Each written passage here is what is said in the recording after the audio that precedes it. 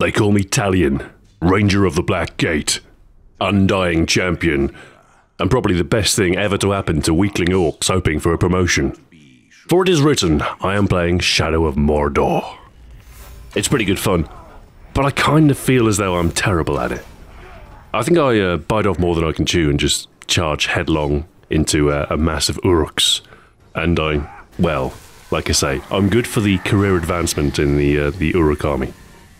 It's pretty good fun. I do like the Nemesis system. It really does drive home your failures when a lowly, unnamed orc rises up the ranks.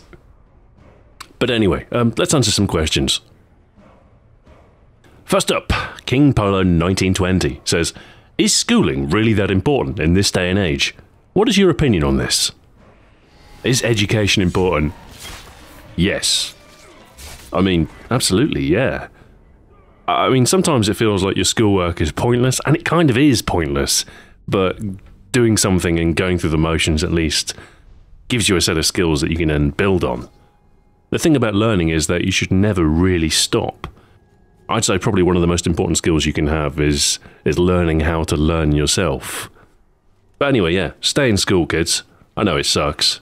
And sometimes the quality of education isn't always up to snuff, and that, you know, that can be a problem. But still, it's important to go through the motions while your your mind is still plastic. Freddie Keeley says, Hey Stu, what Bond film was the WA2000 in? It's uh, The Living Daylights, Timothy Dalton one. I'm not going to lie, I did check that on IMFDB. Mohammed Balkis says, What's your opinion on difficulty? Like most games are simply easy, not exactly easy, I can do it, hard, I am a bottom. But some games are creative in the difficulty implementation, like the Dark Souls series, where it's based directly on what items you choose to use and how you actually play. Uh, difficulty. I like a game to be challenging but never frustrating, which is a really difficult line to balance on. I am a believer that a game should basically mold to the player as closely as possible. The game should give as many options to the player as possible. It should never be this is the base difficulty. If you can't do this, you suck. You can't play this game. I don't think that's a good design decision. I think, you know, you should be able to make a game as easy as possible. But you need to do that in such a way that you don't diminish the achievement of playing on a harder difficulty. I'm really not a big fan of the you failed, do it again paradigm either. Like being forced to play the same mission over and over again, that is a recipe for frustration.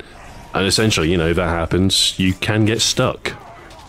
So I think continuous progression is a nice design feature. You see this in JRPGs, you know, they call it grinding. In a game like Final Fantasy or whatever, if, if you get stuck, you can just grind mobs endlessly to become stronger. And then, you know, the game becomes easier. You have to invest time to become stronger, but the game never says, I'm sorry, that's it, you're done. You can always just go and, and hone your skills. And while grinding can sometimes be done poorly, especially if it's mandatory grinding, I do think stuff like that is alright, as long as you've got a continuous sense of progression. Like in Shadow of Mordor, yeah, you know, you can die, but you gain experience points. You don't really lose anything, because obviously you are kind of immortal. And the orcs who defeat you, they do get pretty smug, but in theory at least, with every game loop, you should become better, and sh you should eventually be able to overcome the challenge. Yegi says, Fluent, I'm surprised you haven't said anything about your award in the Total Biscuit contest. The stakes were really quite high. I think most of the YouTubers he nominated were great, yet you still got it. Any words, especially for the influx of new subscribers? Yes. Hello. I look forward to disappointing you in 2015. That's me being glib. I, I do plan to do some really good content in 2015. I'm just, at the moment, I'm frustrated because I, I'm still working on a video and I haven't put anything out in ages. And it's, it's quite embarrassing, you know, to win a prestigious award in the middle of a dry spell. Anyway, that should be remedied soon. I am hard at work, I promise. My first video for MMXV, days away. Anyway, as far as the award, yes, of course, it's an honour. And I'm, I'm very grateful for the attention, the influx of subscribers, and, and hopefully it's a turning point for my channel, you know. A time when I can confidently put Call of Duty to bed and stride on into an arena of bold new variety content. The comedian says, Hey Stu, how much attention do you pay to music and sound design in games? I think these are the subtle aspects that actually affect games in a big way. making guns and other weapons satisfying, setting the tone and atmosphere, and making a memorable moment even more memorable thanks to an awesome background track. A lot of game music stays with me forever on my player. No doubt, sound is very important in a game. I mean, you can have the, the best animation in the world, you can have the finest graphics, but if you don't have a really keen audio track on top of that, it will still fall flat. The key to good sound effects is really to get a, a, really strong union between the on screen action and the sound that comes out of the speakers. It can be tough to get right because, you know, it's one of those things that isn't really always picked up on straight away. But uh, no, I, I do like a game with good sound design. Music is a great way to set an emotional tone as well, and uh, for a narrative based moment, a nice piece of orchestral music can really set the scene. I mean, some of the most memorable moments in gaming are underpinned by, by their soundtrack, like you say. Even simple things like the menu music on Halo, you know, the, the reverberant chanting of some solemn monks. It's, it's powerful in its own way. Anyway, sound good. I actually bought myself a decent sound plinth for my console recording setup. I've already got decent speakers for my PC, but my my consoles are going through TV sound, which is never good. So I got a compact 2.1 setup with a, a lot more punch. Snuggle Waffle Gaming says, Hey Stu, have you been able to pick up Super Smash Bros. for Wii U? If so, what do you think of it? A fan actually very generously bought me Super Smash Bros. off my Amazon wishlist, so I now do in fact have it in my possession. I've never really been invested in the Smash franchise, but obviously the hype behind that game was impossible to ignore. And it seems like it's certainly one of the biggest games for the Wii U this year, so I'm glad I have it in my collection. I've only had a chance to play for about an hour or so, uh, and this is really the first time that I've ever recreationally played Smash. I think uh, Smash 64 has turned up in a couple of videos prior, but uh, this time though, I sat down and I was playing for fun. And it is kind of good fun. I don't really understand it. I get the basics. You're supposed to hit the guys out of the arena. Yeah, alright. And if you can do that enough times without, you know, falling or whatever, then then you win. Anyway, you know, it's it's fast-paced action, 60 frames a second, which is nice. I can definitely see the appeal. Anyway, um, pr I'll probably have it for the bonus footage next week. I need to hone my skills a little bit so you don't mock me too much. John G says, Hey Stu, does your wife work? I see this question every week. I guess it's the same guy asking it. And I don't really like answering questions about people other than myself. I don't really like talking about, you know, members of my family or, or my wife or anything like that. But the real reason I haven't answered this question is because the answer is very boring. Does my wife work? Yes. Roger Toledo says, What's your favourite real life racetrack? A couple come to mind. Uh, the Nürburgring for its length. I think my uh, my overall favourite is probably Laguna Seca, though. It's a pretty good layout, some varied turns, and then, of course, you've got the corkscrew to punctuate every lap. Sean Merrick says, Have you heard of No Man's Sky? And if so, what do you think about it? I have heard of it, and it looks very, very cool. I'm a huge fan of exploration in games, and I'm a huge fan of procedurally generated content, and No Man's Sky kind of ticks both of those boxes. So yes, I am quite excited for that. Um, I think it's coming to the PS4 first, isn't it? Well, that's alright, I've got a PS4. Suits me. So I'll probably get it for that, and I'll probably get it for PC eventually as well. I do wonder if the uh, procedural generation of planets will live up to the hype, though. I think, you know, after a few hours, the novelty might wear off, and, uh, you know, the internal workings might wear a little thin. But all the same, you know, all the same, it might very well have the potential to surprise, to inspire a sense of wonderment, so it could be really good. Super Yankee for Life says, What are the chances that the Scar H makes it into the Iconic Arms series in either seasons 2 or 3? Uh, well, I can tell you that season 2 is already decided, it hasn't made the cut. And I can also tell you that whilst I do plan to do some Belgian weapons in season 3, uh, I think they're probably going to be the FNFAL and the P90. Uh, that's not final, that could change, but I don't think it'll be the Scar. That's not to say that the Scar won't ever be covered, though. It might very well happen. Certainly, if you know there are a few more games released with it in prime placement. I'd probably do the Scar platform in general, though. So I'd I'd roll the Scar L and the Scar H into one episode, just so I've got more games to draw from. But I mean, certainly of of all modern guns, the Scar is probably one of the more iconic. Nick Stevens says, "What's your favourite Grand Theft Auto title?" I lean towards GTA 3 for the nostalgia plus innovation, and GTA 4 for its storyline I found gritty, gripping, and tragic. Uh, the only objectively correct answer in this question is Vice City. I mean, come on, the soundtrack, the neon lights, the hedonistic lifestyle of the 80s.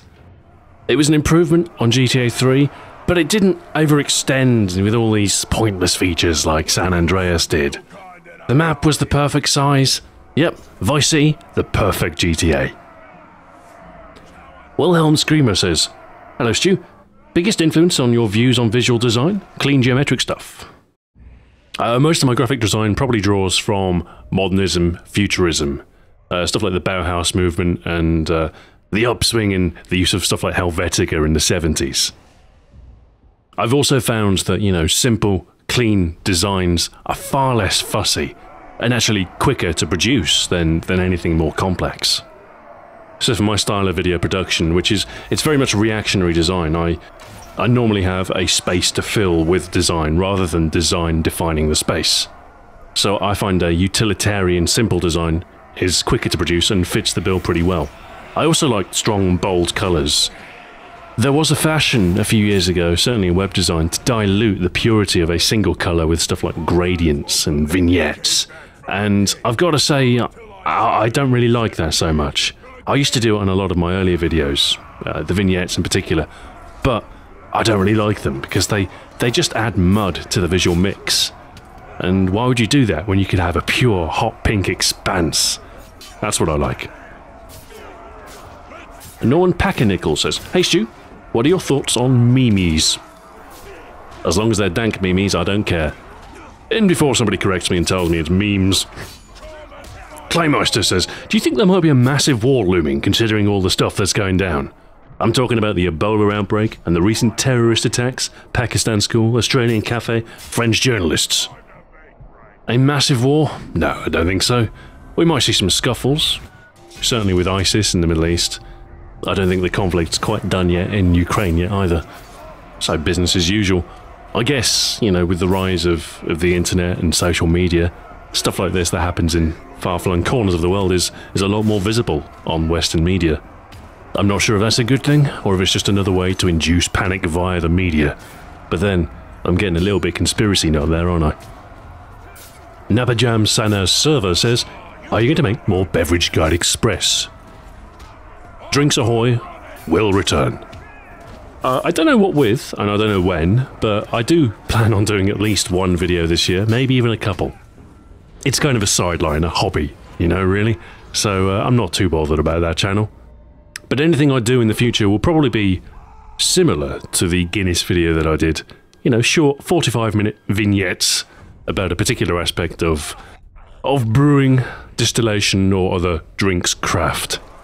I mean, probably, unless I forget to do a video this year. We'll see.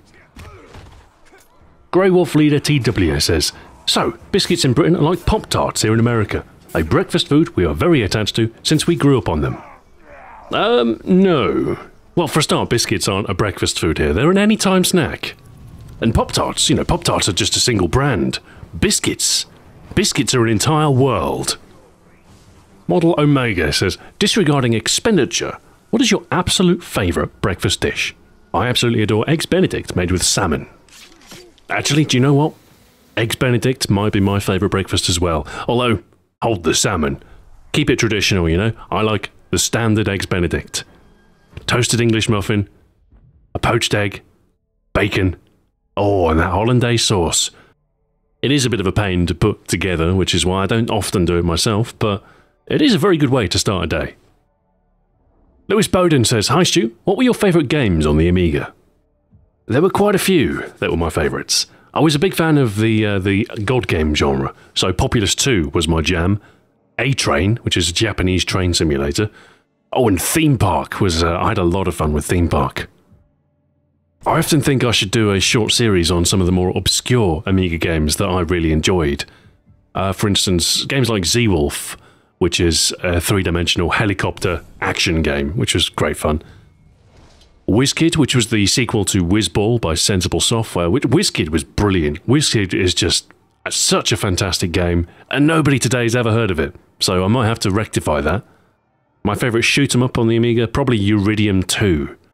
I really enjoyed that game, just everything about it. The aesthetic was perfect.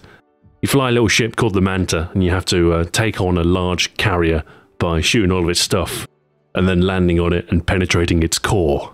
And then it explodes in a cataclysm whilst you warp away. Remarkably satisfying, cracking game. Hired Guns as well, that was a cracking game. And Beneath a Steel Sky, oh, I did like my adventure games. Obviously, I was a big fan of the Secret of Monkey Island games, but yeah, plenty of others. What's the other one? Uh, oh, I've forgotten the name of it, with Joe King as the protagonist. Flight of the Amazon Queen. Anyway, probably one of my favourite chapters in my gaming history was the Amiga. It was a it was a nice system. It was just a shame it had to die. Bonavici says, Oi Stu, I'll get straight to the question. What are the worst controls you've ever had the misfortune, or fortune, who knows, to experience in video games? Bad controls, eh? Uh, well, the first games that come to mind are those games which deliberately have bad controls. So, QWOP is kind of one of the key installments there, in which you have to control a runner with Q, W, O, and P assigning to each of your limbs. Uh, terribly unintuitive running controls. It was almost impossible to make any progress at all. But, well, you know, with enough practice, some people were able to do it. So the challenge of QWOP lay within its own controls, which is an interesting mechanic. It seems counter to good game design, but, you know, it was a novelty. And it's one that has spawned uh, a few other similar games. Like recently, Surgeon Simulator comes to mind. The controls aren't necessarily bad, but they are deliberately obtuse. Other games like Octodad and the more recent I Am Bread. These are all games in which bad controls are kind of a mechanic, which is strange. Now, of course, the worst sort of bad controls are the ones that are unintentional, and this, I mean, this does happen quite often. I find it really difficult to go back and play old games, especially uh, old 3D games. I cannot stand the original Tomb Raider, for instance. I mean, I played those games back in the day and I never really liked them. I have to be honest, I don't think the Tomb Raider series is very good. I say that with the exception of the most recent one, which I actually did quite enjoy. Uh, I mean, you know, the controls were pretty good, and it took more cues from Uncharted than any of the earlier Tomb Raider games. And so, for that reason, the 2013 reboot of Tomb Raider is far and away my favourite Tomb Raider game. But only by virtue of the fact that I really can't stand any of the others. You see, what you have with Tomb Raider is a very early 3D platformer, basically. That's kind of what it is. And you've got pretty clumsy controls and very, very finicky inputs. And I, I never liked it. The jumping, yeah, it's so frustrating, especially for a game that is largely based around navigating a level. Compare and contrast with Mario 64, which to this day is a joy to play. Mario 64 set the standard for a 3D platformer on a single analog stick, and it did it really well.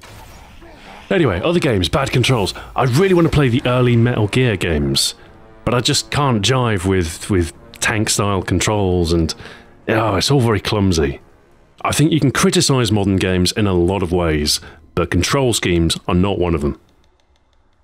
Shay Samuel says, Hello Stu, as a new subscriber, I don't know if you've talked about this before, but what do you think about the Mass Effect trilogy if you've played it? Was the trilogy a keeper, or did you only play the first and move on to other games? I have played the trilogy in its entirety uh, a couple of times, I think. And I do thoroughly love the Mass Effect games. There's just something very solid and believable about its world. And I think, you know, it does have flaws. Certainly the ending of 3 was, well, I, I mean, it didn't really spoil the series for me, it just wasn't a particularly good ending. I miss the Mako. I miss the exploration of the first one. I liked going down to planets and just just roaming for a little while and acquiring resources. And I I would like a new Mass Effect game to expand on that. I do think, however, the character development scene in Mass Effect 2 was definitely an improvement. And there were some really nice character moments in 2 and 3. I mean, Mordin Solus, fantastic character. He's, you know, he's a likable guy, and that's sometimes really hard to do. Oh, and the multiplayer in 3. Big fan of the multiplayer, and I do hope the fourth installment of Mass Effect does something with that, and I'm sure they will, because they know how successful it was. So yes, Mass Effect, me likey. Anyway, I am just about approaching the 20 minute mark, so I shall wrap it up here. I have plenty to do. I'm in the edit phases of my next video, which is fairly major production. It's a successor to the Akimbo Origins video, and uh, it's about, I think it's about 14 minutes long, something like that anyway, so it's pretty substantial. It's kind of a new format, or an evolved format, so I don't know how well it's going to go down, but I did take the time to, to hone the script. I did actually do a, a revision or two, so it should be, it should be okay. I always get nervous before, you know, putting out a new type of video, but it almost always works out in the end. So that should be done within a few days, in theory. Uh, it's just the editing left now, really. Although I do need to do graphics as well, and I wouldn't mind writing some music. So, you know, you can see how all this stuff adds up. Anyway, no matter, it's coming. I'm hoping to have it done by this weekend, but, you know, it's done when it's done. Anyway, thank you very much for watching, and until next time, Oh, farewell.